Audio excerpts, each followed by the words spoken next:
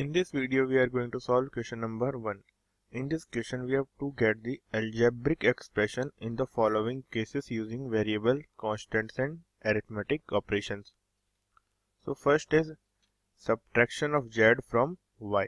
तो मीन्स हमें क्या करना है y में से z subtract करना है तो क्या हो जाएगा वो this is y and we have to subtract z from y so this is minus z so y minus z is subtraction of z from y so one half of the sum of numbers x and y तो वो कैसे होगा सबसे पहले x plus Y sum of number x plus Y क्या होता है x plus Y और हमें बताना है इसका हाफ़ तो x प्लस वाई को हम क्या करेंगे डिवाइड कर देंगे टू से तो ये हो जाएगा x प्लस वाई का half so this is the one half of the sum number x and y now third question is the number z multiplied by itself तो क्या हो जाएगा?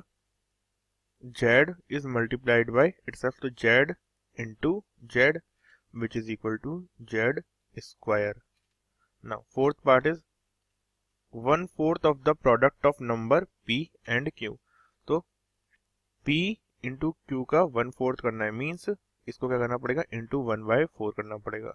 This is equal to P Q by four अब fifth part क्या है?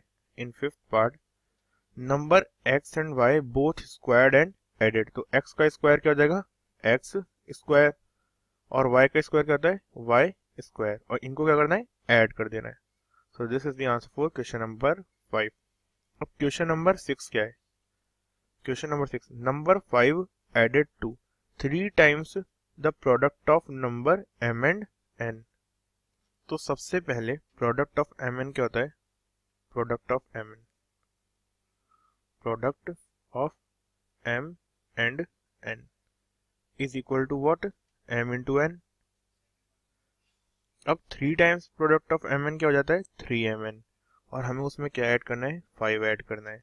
तो हमें three times of M into N में ऐड करना है plus five so this is the answer for question number 6 now what is question number 7 तो question number 7 में क्या है? Product of numbers y and z and subtracted from 10 तो means हमें 10 में से क्या करना है? Multiplication of y and z minus करना है। तो ऐसे हो जाएगा 10 माइनस वाई इंटू जेड और लास्ट पार्ट है हमारे पास। Eight part of this question is equal to sum of numbers a and b subtracted from their product तो हमने क्या करा है?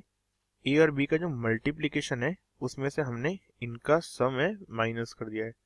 तो ऐसा जाएगा A B minus A plus B इसे हम सिंप्लीफाई करेंगे तो क्या जाएगा? It is equal to A B minus A minus B so this is the answer for question number 1